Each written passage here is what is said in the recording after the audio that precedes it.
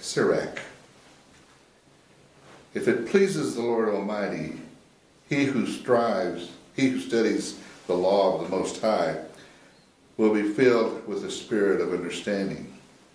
He will pour forth his words of wisdom and in prayer give thanks to the, to the Lord, who will direct his knowledge and his consent as he meditates upon his mysteries.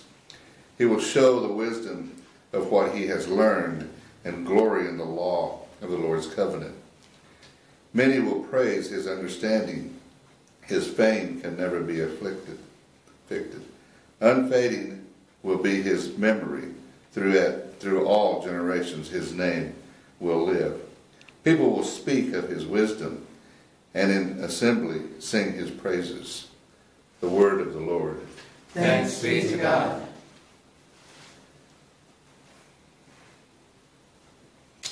The mouth of the just murmurs wisdom. The mouth of the just murmurs wisdom. Trust in the Lord and do good, that you may dwell in the land and be free, fed, fed in security.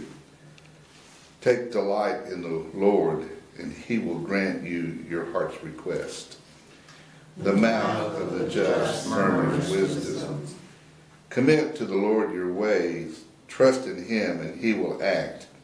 He will make justice draw for you like the right light.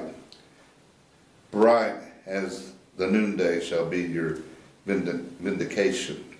The, the mouth of the just murmurs wisdom. The mouth of the just man tells of wisdom, and his tongue utters what is right. The law of his God is in his heart, and his steps do not falter. The mouth of the just murmurs wisdom.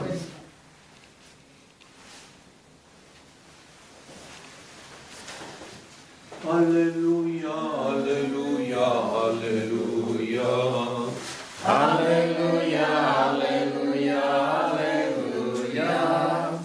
Come after me, says the Lord, and I will make you fishers of men.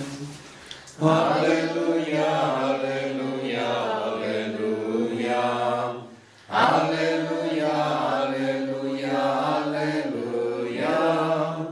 The Lord be with you. And with your spirit. A reading from the Holy Gospel according to Matthew. Glory to you, Lord.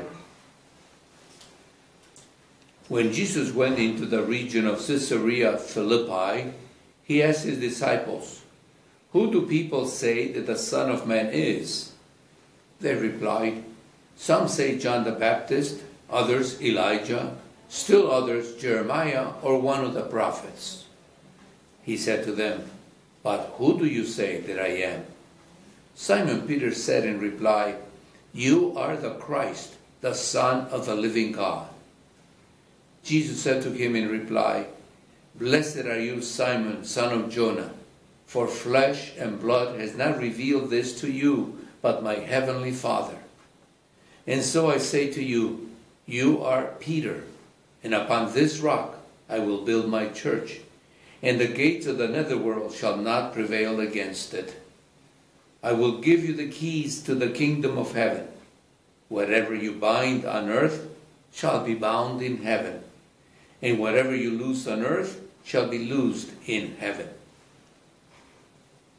The Gospel of the Lord. Praise, Praise to you, Lord Jesus Christ.